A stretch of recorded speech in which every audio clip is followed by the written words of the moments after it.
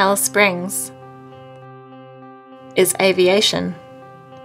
From the beginning of aviation to the bombing of Darwin, the Royal Flying Doctor Service, the airlift for Cyclone Tracy, and most recently, the unveiling of the Qantas Dreamliner. Aviation is embedded in Alice Springs history. It has played a large role in shaping this place. Alice Springs was home to Connair, or Connellan Airways as it was originally known, which was run by Edward John Connellan, my grandfather. So we had very sophisticated engineering facilities based here in Alice Springs. We had over 120 pilots. I think you've got to have a passion for it, but that's very easy to develop. But I think anyone, anyone who wants to do it should do it because it is, it's, it's a wonderful career.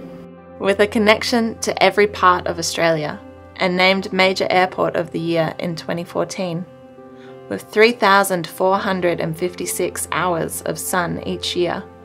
Alice Springs is unique. We are the biggest airport in Australia by landmass, an incredible 3,500 hectares of land, so we have room for expansion.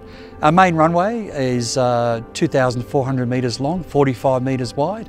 We have a Cat 7 uh, fire service, we have a Category 1 uh, ILS system, uh, we have all the navigation aids required. Not only that, we have no curfews, no uh, restrictions whatsoever, and most importantly, we never have any noise complaints whatsoever. We are unique as an airport in Australia.